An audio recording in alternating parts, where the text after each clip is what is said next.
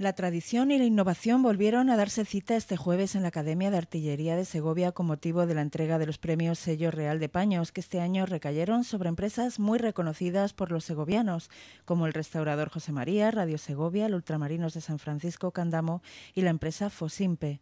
El acto se celebró en un salón de plenos lleno hasta la bandera entre empresarios, muchos de ellos de la restauración, como Cándido Duque, autoridades, políticos, familiares y amigos.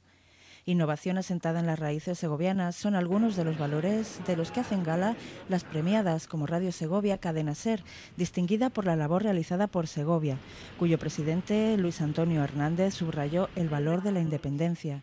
Eduardo Doldán, quinta generación al frente del Ultramarinos de la calle San Francisco Candamo, premio a la empresa centenaria ante la periodista Elena Rubio, conductora de la gala, puso en valor la esencia del comercio tradicional. Eduardo Doldán, padre, también nos dio fe de ello. Por su parte, Tomás Quintanilla, presidente de Fosimpe, premio a la empresa exportadora, compartió algunos de sus secretos para triunfar en China.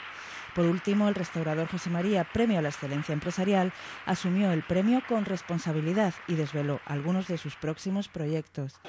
Pues mira, yo diría que en todos los premios yo siento siempre una responsabilidad a la vez. Quiero decir que si alguien ha confiado en ti porque te ha dado un premio, no puedes nunca defraudarle. Por tanto, siento, lógicamente, una satisfacción, pero como te digo, sobre todo sientes una bueno, responsabilidad.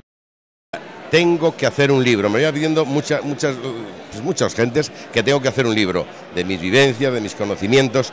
Y además hay un refrán por ahí que dice que si tienes un hijo y no sé qué más y has plantado un árbol, también tienes que hacer un libro. Yo quiero hacer un libro y solamente me hace falta una cosa muy importante, ser capaz de sentarme porque soy excesivamente inquieto.